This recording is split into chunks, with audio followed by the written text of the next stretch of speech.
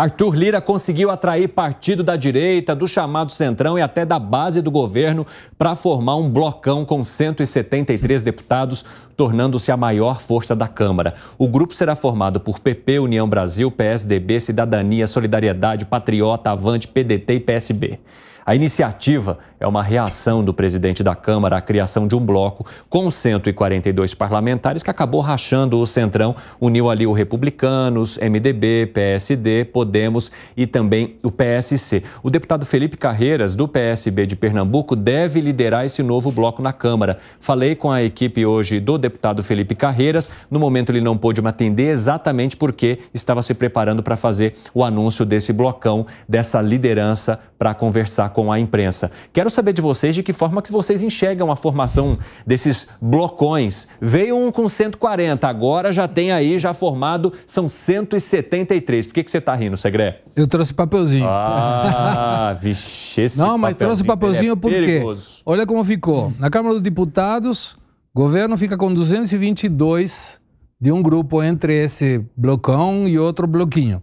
A oposição 102 e os independentes 189.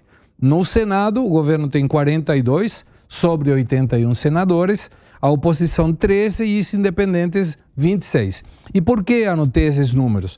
Porque para você aprovar um projeto qualquer, o governo precisa de 220, 257 deputados. E ele teria, junto com esse novo blocão, 222. Não chega. Mas em Senado, para aprovar qualquer coisa, precisa 41 e tem 42 senadores. Agora, para a PEC, aí vai complicar. E o arcabouço vai ter que ir por essa situação. E aí precisa 308 deputados hum. e 49 senadores. Então pode que esse blocão vai pegar mais força, o Arthur Lira continua tendo mais poder, e quando o presidente de deputados ou de Senado tem mais poder, para o governo, mais dificuldade para negociar qualquer coisa. Você vê dessa forma também, Piperno? Claro, o Arthur Lira deu um golpe de mestre. Ele deu um contra-ataque perfeito, né? É aquele momento em que, enfim, o judoca lá e tal, ele tá acossado, pressionado, numa posição ruim, aí ele responde com o ipom e resolve o jogo. Ele fez isso, ele deu o ipom dele. É, ele, agora, ele passa a ser, de novo, a força protagonista, ele lidera a força protagonista na Câmara.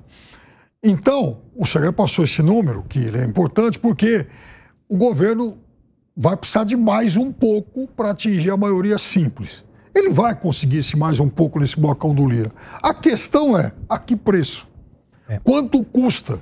É. E vai custar cada vez mais caro, não tem a menor dúvida. Não nasci ontem e é assim que as coisas funcionam. Quando você tem eleição para o parlamento dos Estados Unidos, você sabe que são 100 senadores. Hoje, a maioria democrata é de 51 a 49 e vai ser assim até o final do governo, até o final do mandato dos caras. De vez em quando você tem um, né, um lá que desgarra e tal, um, às vezes dois, não. Mas geralmente assim não muda. Aqui essa correlação ela muda toda hora a depender da oferta. Olha o que está acontecendo agora na negociação com União Brasil, que tem três ministérios, mas diz que o partido não apadrinha os três, aí a deputada, que é a ministra do Turismo, quer sair, aí tem gente que do partido quer que ela fique, o partido diz que não vai liberar os seis deputados que pediram para sair, e gastou 60 milhões de reais com eles. É. E aí, essa turma vai ser governo ou vai ser, ou vai ser oposição? 5h52 da tarde, 53 agora exatamente. Seguimos ao vivo por aqui. Alangani, vai custar caro isso? Vai, com certeza. É, é curioso que o Brasil ele tem dois centrão. Né? Você tem o centrão ali do MDB, do PSD, que vai fazer preço, que tem força também, centrão principalmente no Senado. E depois você tem o outro centrão, né? Há um centrão mais à esquerda, um centrão mais à direita, esse agora aí uh, do Arthur Lira, né? É, colocando União Brasil também, PSDB. Enfim, então essas duas forças aí, elas vão fazer preço, elas querem emendas, elas querem cargos. Então, você tem algumas reformas bastante é, importantes para o governo, como é o arcabouço fiscal, como é a reforma tributária, e hoje é, como está a configuração, o governo não conseguiria aprovar essas reformas. Precisaria aí é, desses dois centrão, né, dessas forças aí, e é claro que isso Uh, vai vir a um determinado preço. Havia uma crítica muito grande ao governo de Jair Bolsonaro de que quem mandava ou quem governava de fato era o Centrão. Você acredita num mesmo movimento agora também durante o governo de Lula? É, o Centrão 1, o Centrão 2 vai se juntar, vai fazer o Centrão 3, sei lá. o Mega Centrão? É, é, o Centrão do centro, o Centrão da esquerda.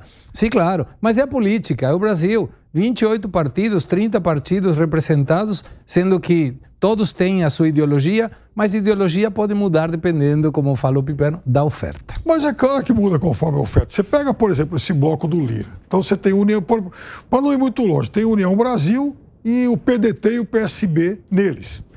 Então vamos lá. O que, que existe de comum entre, por exemplo, o Sérgio Moro, que é União Brasil, a Tabata, que é PSB, e a turma do PDT, de origem brisolista ou cirista, por exemplo, lá no Ceará.